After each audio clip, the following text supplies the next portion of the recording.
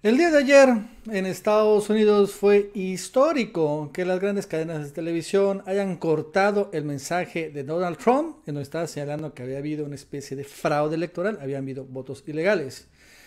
Y bueno, esto generó pues, un escandalazo, ¿no? Este corte, que bueno, muchos ven como censura, y yo también lo veo así. Lo interesante es que después de este corte empezaron los chayoteros aquí en México a decir lo siguiente, que también aquí la televisión nacional, la televisión mexicana, las cadenas mexicanas, deberían hacer lo mismo con López Obrador. Deberían cortar la mañanera cuando diga mentiras el presidente, ahí en el púlpito. Lo dijo Loret, Leon Krause, Jorge Ramos, lo dijeron obviamente La Boa y todos sus personeros. Lo curioso es que aquí en México no hay ninguna cadena de televisión que pase la mañanera. Aquí en México, la mañanera López Obrador se transmite a través de las redes sociales del YouTube y se multiplica gracias a los youtubers. Y han sido las televisoras que al inicio no querían transmitir la mañanera. No les quedó de otra que hacerlo, porque así tienen un poquito de rating cuando menos en la mañana.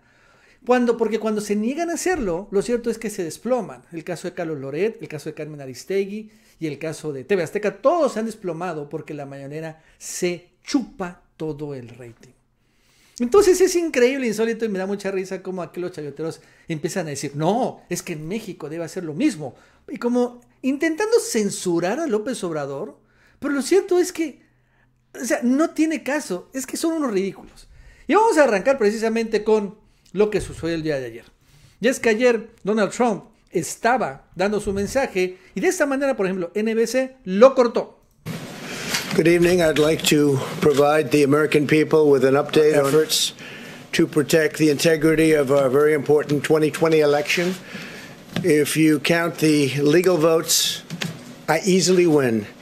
If you count the illegal votes, they can try to steal the election from us. If you count the votes that came in late, we're looking at them very strongly, but a lot of votes came in late. I've already decisively won many critical states, including massive victories in Florida, Iowa, Indiana, Ohio. Okay, here we are again in the unusual y ahí cortaron, ¿no? Position of not only interrupting the President of the United States, but correcting the President of the United States. And Ari Melber, don't go far. Uh, given that you are our chief legal correspondent, there are no illegal votes that we know of. There has been no Trump victory that we know of.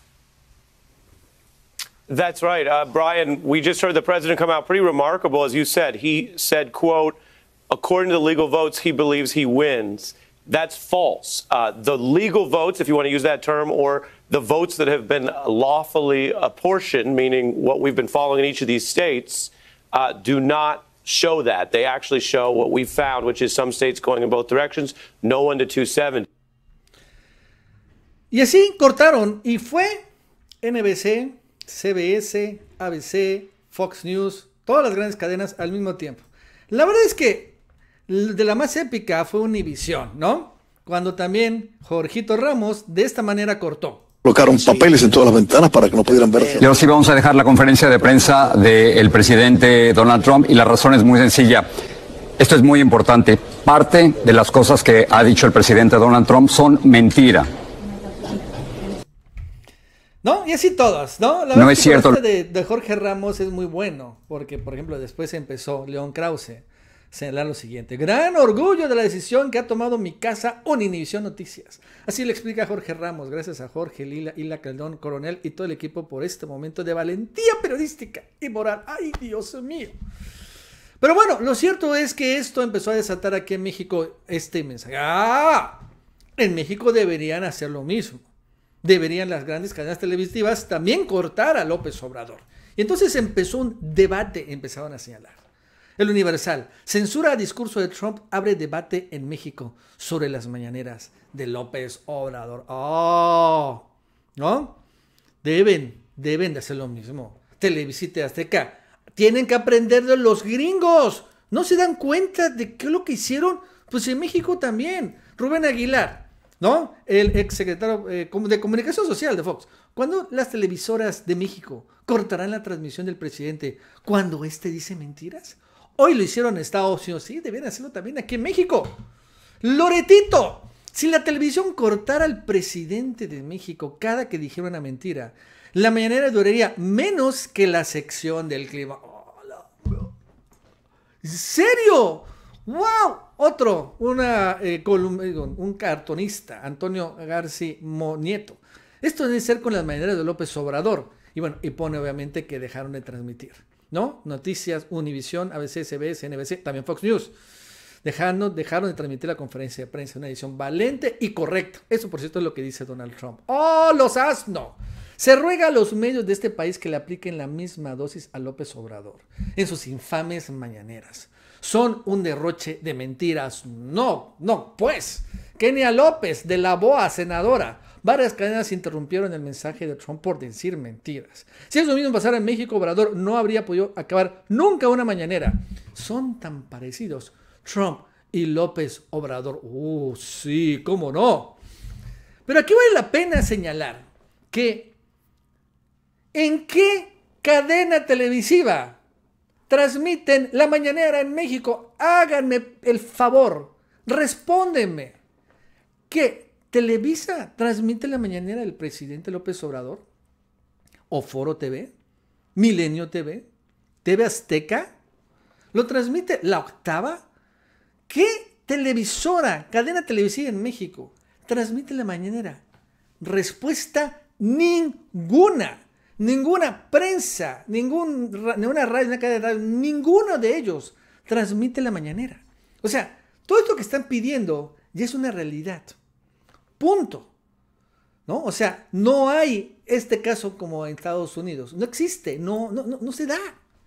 Por la sencilla razón que la mañanera la vemos, la gran mayoría de los mexicanos, por las redes sociales.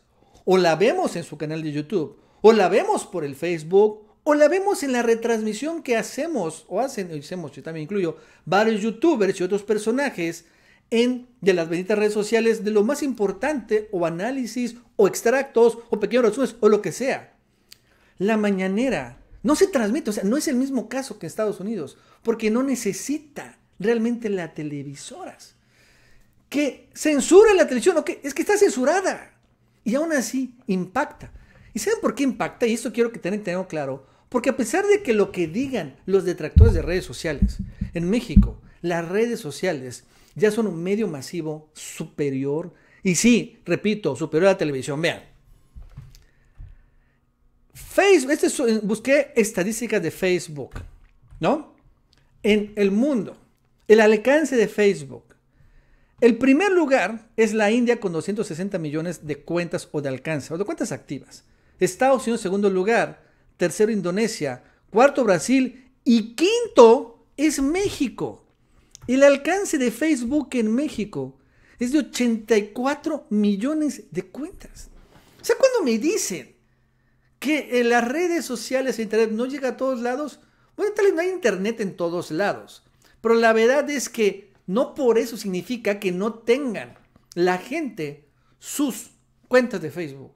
Porque, bueno, al final, tal vez si vive allá en la Sierra Tarahumara, igual no sabe. Pero hay mucha gente que vive lejos, pero trabaja en otros lados y ahí entra Internet. Y siendo también el Facebook, que tiene ¿no? Eh, datos ilimitados, no hay problema. 84 millones, quinto lugar a nivel mundial de alcance de Facebook. O sea, entonces, no me vengan a decir que las redes no son masivas. Claro que sí son super mega masivas en México. YouTube, por cierto, es donde, cómo se informa la gente, por cierto, en México. A nivel mundial. Facebook en primer lugar 2.500 millones de cuentas activas y YouTube segundo lugar 2.000 millones de cuentas activas. En estas dos es donde se informa la gente. Bueno, WhatsApp tercero 1.600 millones de cuentas activas. Aquí se informa la gente. Y aquí es donde actuamos los youtubers y donde se transmite la mañanera precisamente. ¿No? Twitter, fíjense, porque Twitter siempre es así. Ay, es que en el Twitter los Morolabots tienen apenas 340 millones. Está más cerca Pinterest de rebasarlo, ¿no? Pinterest, imagínense. que llegar al nivel de Facebook o YouTube, porque muchos, muchos, muchos políticos y la BOA le dan mucho, mucha, este, mucha fuerza al, al, Twitter, pero realmente no tiene ningún tipo de fuerza masiva, si lo comparamos con las otras.